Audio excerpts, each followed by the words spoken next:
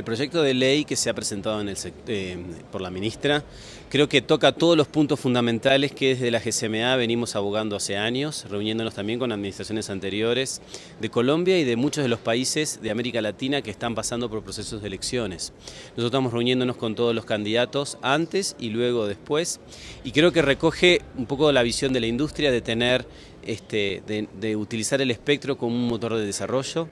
de promover plazos de licencia más largos que permitan que haya previsibilidad de las inversiones. Eh, creo que va a otorgar un marco de desenvolvimiento mucho más simple, menos engorroso, más con visión de futuro, con menos regulación ex ante, con más regulación ex post, tratando de fortalecer y apoyándose en los principios básicos que son los derechos de los usuarios, de los consumidores,